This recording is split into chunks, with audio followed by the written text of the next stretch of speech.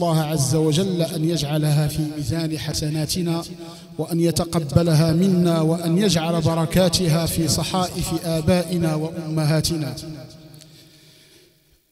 معلوم أن من أعظم المنن وأعظم النعم على الخلق مثل هذه المجالس لأن بها تتنزل الرحمات وتغشى السكينة ونذكر في الملأ الأعلى عند الله. مصداقا لقول نبينا صلى الله عليه وسلم القائل ما اجتمع قوم في بيت من بيوت الله يتلون كتابه ويتدارسونه بينهم إلا حفتهم الملائكة وغشيتهم الرحمة وتنزلت عليهم السكينة وذكرهم الله في من عنده.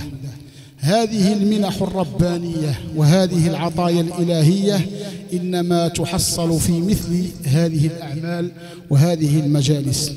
ولقد وفق الله يعني أصحاب هذا البيت المبارك والمباركين إلى هذا الجمع الطيب.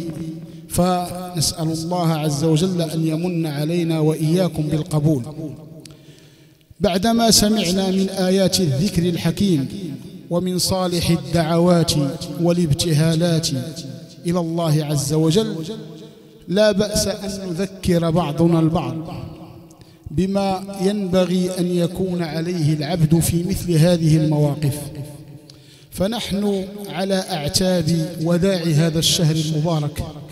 نحن مقبلون على وداع هذا الخير هذا الموسم العظيم الذي امتن الله تعالى على البشرية به. وفضله ولله تعالى في خلقه شؤون. فإن الله عز وجل يختار من الخلق ما يشاء يفضل البعض على البعض لحكمة يعلمها الله عز وجل.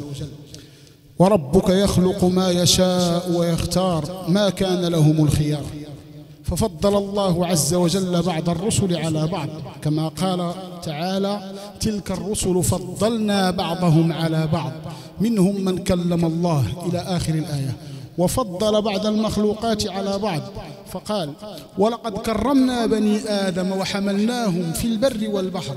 وفضلناهم على ورزقناهم من الطيبات. وفضلناهم على كثير ممن خلقنا تفضيلا. فجرت سنة الله عز وجل في حصول هذا التفاضل بين الأزمنة فليس زمن كزمن. وذلك كما يقول الله تعالى إن عدة الشهور عند الله اثنا عشر شهرا في كتاب الله منها أربعة حرم. فهذه الأشهر الحرم هي معظمة مقدمة على غيرها من الأشهر. منها أربعة حرم والأشهر الحرم هي ذو القعدة وذو الحجة وذو قعدة ذو حجة محرم ورجب الفرد شهور حرم هي شهور أربعة ذو القعدة وذو الحجة ومحرم. ورجب الذي يأتي يعني قبل شعبان هذه هي الشهور المحرمة. واقتضت حكمة الله عز وجل أن يفضل بعض الأيام على بعض. ويفضل بعض الشهور على بعض. وكانت درجة رمضان من أعظم الدرجات التي امتاز بها وذلك لحصول النعمة الكبرى والرحمة التي امتن الله بها على الخليقة وهي نزول القرآن. فتعظيم رمضان مرتبط بالحدث الأعظم وهو نزول القرآن من اللوح المحفوظ إلى بيت العزة. يقول الله عز وجل إنا أنزلناه في ليلة القدر وما أدراك ما ليلة القدر. ليلة القدر خير من ألف شهر. تنزل الملائكة والروح فيها بإذن ربهم من كل أمر. سلام هي حتى مطلع الفجر. ويقول عز وجل شهر رمضان الذي أنزل فيه القرآن هدى للناس وبينات من الهدى والفرقان. وقال عز وجل أيضا إنا أنزلناه في ليلة مباركة إنا كنا منذرين فيها يفرق كل أمر حكيم أمرا من عندنا إنا كنا مرسلين. فالعظمة التي أنيطت برمضان مبنية على هذا الحدث العظيم. وهو تنزل كلام الله عز وجل من السماء من من من اللوح المحفوظ إلى السماء الدنيا في بيت العزة. الله لا يمل حتى تملوا وإن أحب العمل إلى الله أدومه وإن قل. أو كما قال صلى الله عليه وسلم. يوصينا نبينا محمد صلى الله عليه وسلم أن العبرة ليست بالكم. وإنما هي بالكيف وبالمداومة على ذلك الكيف. فالكم غير محمود بل العكس القليل الذي يداوم عليه الإنسان في كل لحظة وفي كل آن. هذا هو القصد المطلوب من النبي صلى الله عليه وسلم. وهذا لما في الواقعية التشريعية التي تناسب بني الإنسان. فإن الإنسان يمل. ويكل ويضجر ويفتر وتأتيه يعني الهنات والضعف. هذه المسائل كلها فليحرص الإنسان على أن يأتي بالعبادة القليلة ولكن ليداوم عليها وليسر إلى الله عز وجل سيرا يعني دائما متواصلا في أعمال البر وأعمال التقوى. وهذا ما كان رسول الله صلى الله عليه وسلم يمثله في واقعه. يعني النبي صلى الله عليه وسلم كان قرآنا يمشي على الأرض. رسول الله صلى الله عليه وسلم في تربيته لأصحابه كان لا يكلفهم ما لا يطيقون وإنما يحرص على أن يكونوا دائما تحت مظلة العبودية ولو بيسير العمل.